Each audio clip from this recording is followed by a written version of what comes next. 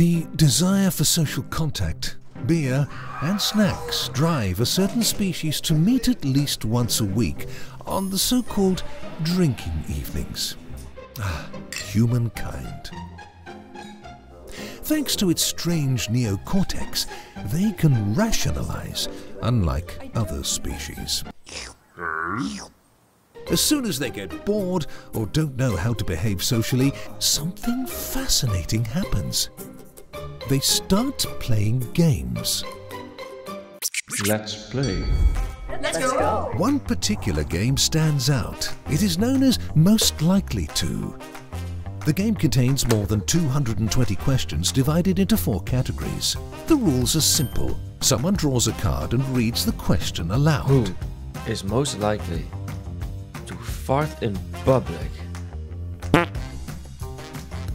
Every player has to choose a person from the group to which the card applies best. Three, two, one. On three, every human points simultaneously to the person of their choice. The one with the most fingers pointed at them gets the card. After this, the following human being draws a card, and so on. The first human to get 10 cards is the winner.